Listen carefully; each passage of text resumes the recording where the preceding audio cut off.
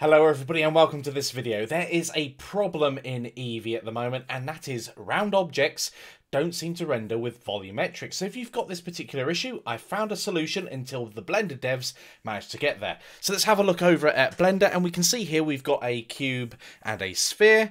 And if we turn rendering mode on, we can see with volumetrics, they both render as cubes. Now, what I believe is happening is a bounding box is going around our objects, and therefore we just cannot see. There we go. That's my drawing that I failed to draw because I turned overlays off. But a bounding box is being drawn around this, and so that's how the volumetrics are being calculated. So we've got a bit of a problem. But there is a way around this. And it's a little bit convoluted and it does put a bit more pressure on your system, but we can certainly get there. So let's go find out some more. Okay, so we have our default cube in front of us here. The next thing we need is something else, and that's going to be a sphere what curvier object can you get? Now, I'm going to keep them in the same location in our scene, but I do need to make sure there's a material set up right from the word go.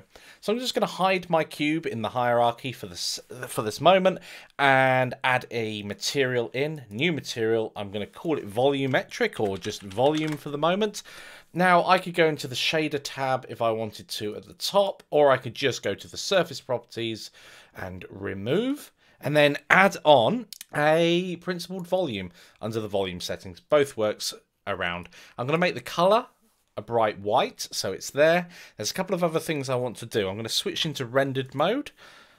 Can't quite see it just yet. There's two reasons for that. Number one, it's not turned on, so let's turn it on. Under the render tab settings, make sure volumetrics has a tick in it.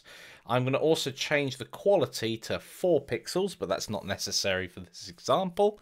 And we can see that it's already a cube rather than what we want it to be. What we'll get there, don't worry.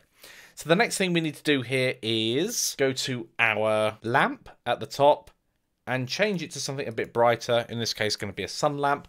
And to really top it off, we're going to change our background color to a darker color so we can really see what's going on. Okay, so we have everything there. Now the thing that we have to do here is have our cube and our sphere selected and we need to make sure that the sphere is selected second and we're going to parent these two together. So the sphere is going to be the parent and the cube is going to be the child. So then we go control and P which will bring up the shortcut to set a parent to and we're going to set it to the object. So now the sphere is the parent and our cube is the child. And that means with the sphere selected, I'm selecting it in the outliner. Uh, we can go down to the object properties and go to instancing. Once we're at instancing, we can set it to verts, and we'll get a relatively odd shape appearing initially. Don't worry about that for the moment, we'll get there in the end. So there's a couple of options here. We can turn on rotation, we can turn off the display instancer, and we're starting to get there. You can see here a sphere made up of lots and lots of cubes. Now there are lots and lots of cubes intersecting here, so you might want to change the scale of this cube. So let's go ahead and do that. I'm going to scale it in edit mode. So I'm just going to scale that inwards. And then we get a much better cube. In fact, if we scale it too small, you can see it's been separated out into loads of little cubes. We don't want that. We want to scale it up just a little. And we're, we're altering the, the actual cube mesh data here, not the spheres. And with that in mind, on the sphere, coming out of edit mode, we can change it so rotation's not there, and we get more of a Minecraft-like um, sphere going on. It's up to you which one you choose. So we're almost there now. However, because it's doing the bounding box thing, when we go to uh, shaded mode, which we are in, let's hide our cube out of the way. Make sure that our sphere and our cube both have the same material. This one doesn't. Let's switch over to volume. There we go. At the moment, we just get this down here. It's, it's just not working. You can play about it to your heart's content and you'll get a similar thing over and over again. What we need to do is with the sphere selected, we need to go to the object menu, we need to go to apply, and we need to make those duplicates real.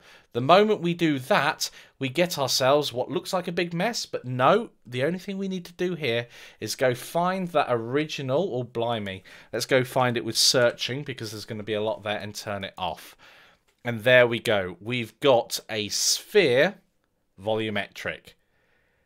But This is the downside. We've also got a lot of cube instances in the scene. So you might want to put those in their own collection for the moment. That will sort that out.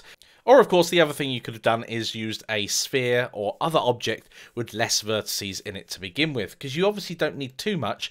But here we go. Here's a sphere, which would be otherwise impossible. And you can do this with any shape that you want. Why don't you try it with Suzanne the monkey and see how you get on? So there we go, guys. Thanks a lot for watching. I hope you've enjoyed it. I hope you found it useful. Hopefully, of course, the Blender developers will sort this out and it will no longer be an issue.